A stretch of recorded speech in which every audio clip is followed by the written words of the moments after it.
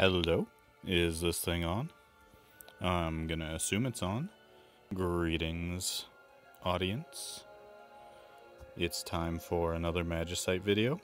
Uh, Tiamat.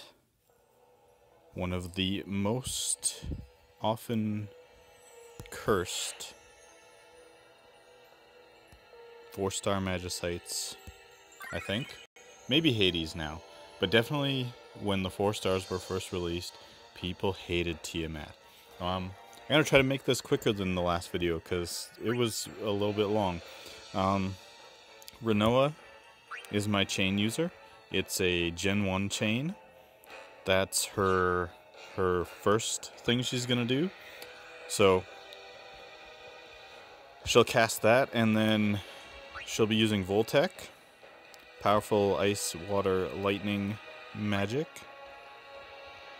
She might occasionally proc her Breaker of the Circle, gives her a moderate chance to reduce the delay of her actions for three turns after using a black magic ability. So she gets fast cast. She starts infused with the power of ice. She will eventually build up to using her Ultra, which infuses her with the power of ice, and her X mode raises her magic and causes her black magic abilities to trigger a 5 hit ice attack. Not super strong, but still pretty good. Chases are always good. We got Edea using her Ultra, which infuses her with the power of ice, raises her magic a moderate amount, her resistance a small amount, and causes witch abilities to double cast. I don't think I've shown off witch abilities. Right now there's only a handful. She'll be building up to her Ultra using this. Sudden Freeze deals two attacks, ice attacks, reduces her offensive magic casting time for one turn, so it gives her some quick speed cycling. And then once her Ultra is online, she'll be using Abyssal Shards. Six magic ice attacks to one target, triggers after a long delay. This team throws around a lot of party quick casts, so that long delay shouldn't always shouldn't often be an issue. And because her ultra causes her to double cast, that's 12 hits every time she casts. So she builds chain quite nicely. Ysayle is my primary DPS. She is stupidly strong. Uh, her ultra is the big showcase here. Uh, infuses her with the power of ice, raises her magic moderate amount, resistance a small amount, causes her ice abilities to trigger the follow-up ability Ice Brand, deals 2 to 6 hits to one target, and the number of hits depends on the triggering ability's rank. So, she has a maxed out Chain Blizzaga, so it's rank 5, so she'll always deal 6 hits on the follow-up. So she does 10 every time. Sadly, no double but like Rinoa, when she is using her abilities, she has 35% chance to reduce her the delay of her actions for three turns. She'll be building up with Manda because it's a six star ability. Otherwise, she's using Chain Blizzaga once Ultra's online. Minfilia has a cool Ultra. She's our buffer for this episode. Haste all allies, raises attack and magic a moderate amount, and resist resistance a small amount. Um, and she's basically there because she can cast Protectga.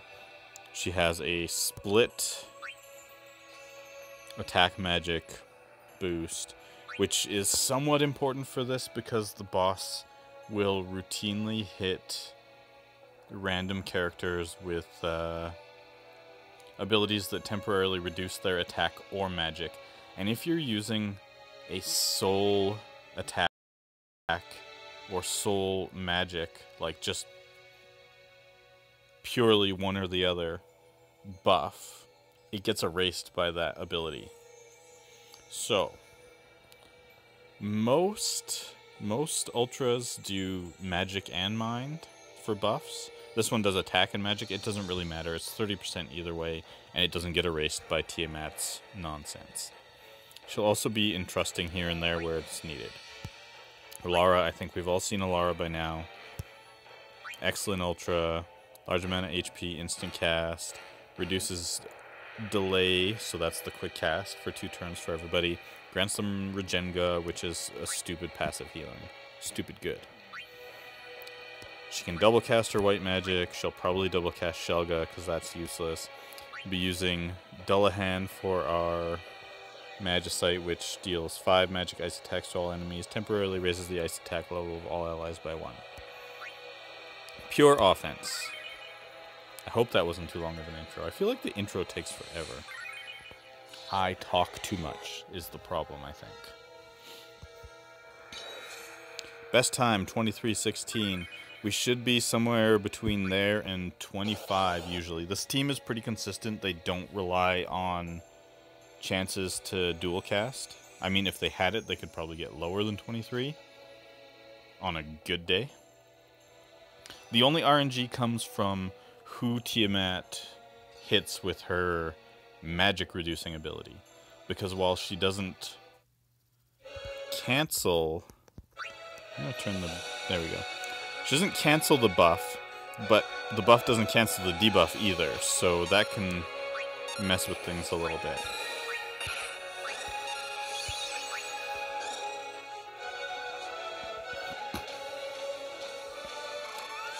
I totally missed who she hit with the first one, but we'll see.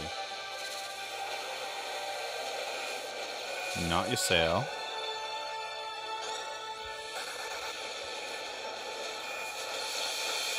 Not Rinoa. That's good. And yeah, with Tiamat, you need to get your up ASAP because she hits you hard just right from the get-go.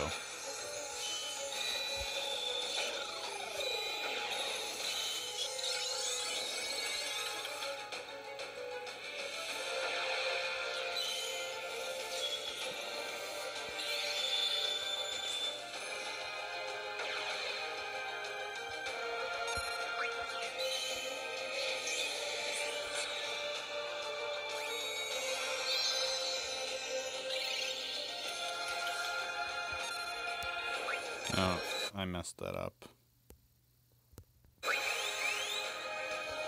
Showing off the restart feature, that's what I'm doing. I could start the video over, but... yeah, Tiamat hits like a truck, and she just does not stop. She occasionally will use an ability called Silence Claw that uh, silences Thankfully, most of this team is resistant to silence, so it rarely ever procs.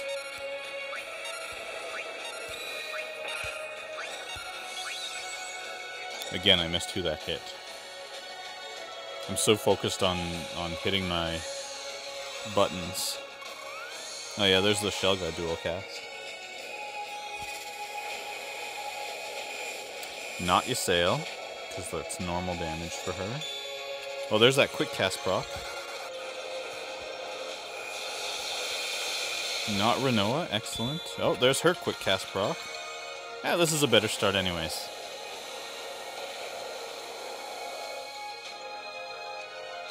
Okay. Not gonna hit Chain Blizzaga with Ysayle. Gonna do it right this time.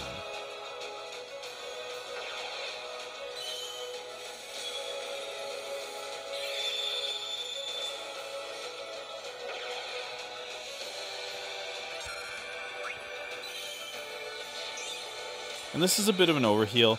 I just... I worry too much that the next attack will hit too hard. Nope.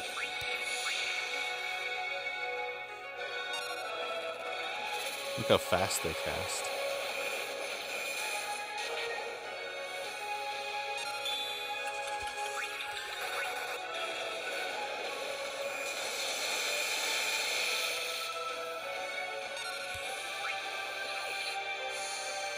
Oh no! I did something very bad there.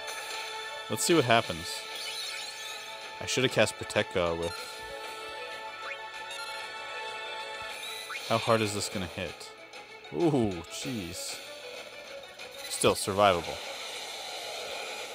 So, I should have cast there with uh, Minfilia, but It looks like we're okay.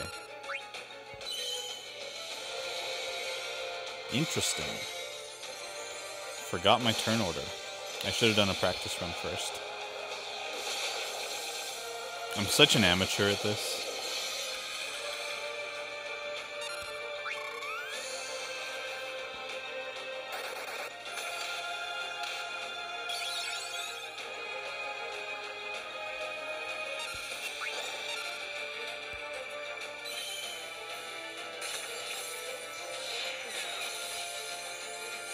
I feel like this is fast. No, it's still battle speed 1. Just all that quick cast, I guess.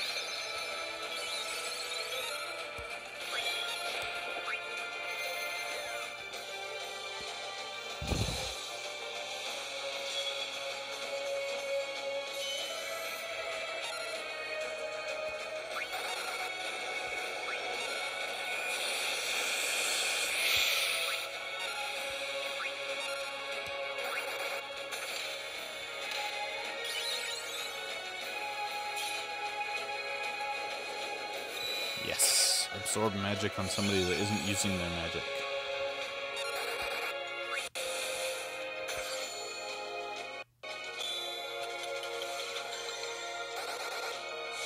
Why the slowdown?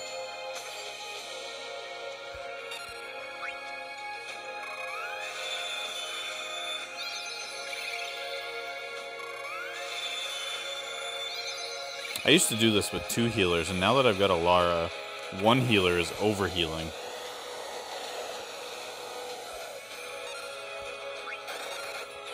Now that got off to a slow start. That's not so good. I totally messed up.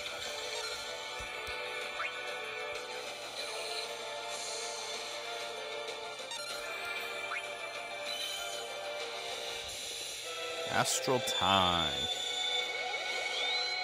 I don't think any of my DPS got hit with the magic debuff. That's brilliant.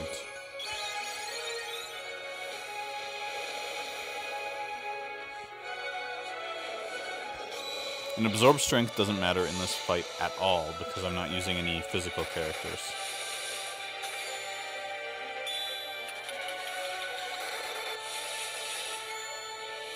Ysayle is a wrecker.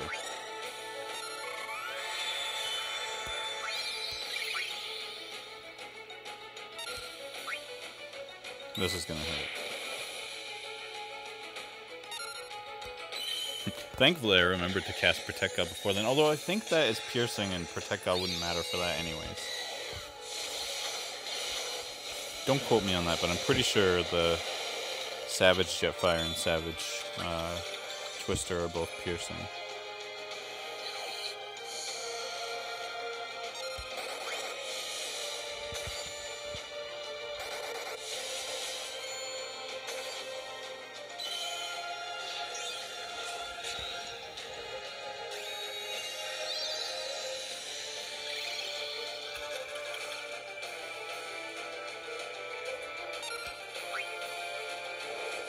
Oh, right at the end, and absorb magic on. Huh.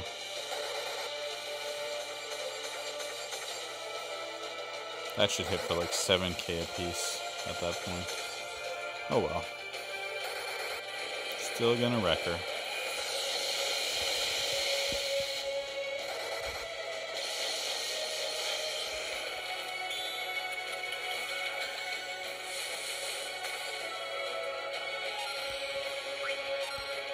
I don't know what I did there. Did I, did I cast Protectga again? Doesn't even matter. Her contribution at this point. Yeah, I cast Protectga again. Doesn't matter.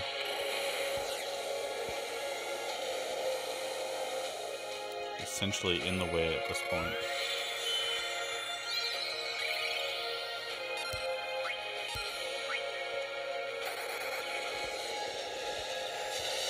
So still, 2386 and I messed up a couple times. Pretty solid for what used to be a nightmare that I needed two healers for. Some powerful ice mages there. That Ice Queen squad. Anyways, there's Tiamat. She's a jerk, and now she's an easy sub 30. I hope you enjoyed that, even with all the messing up, and uh, I'm not sure what I'm going to do next. Maybe Famfrit, even though Famfrit is not a sub 30, I still think just clearing five star Magicites is a bit, of, a bit of an achievement. I can do Phoenix as well, so maybe maybe I'll do those two, because I cannot sub 30 Hades. Maybe if I get a Holy Chain. We'll see. Anyways, thanks for tuning in. See you around.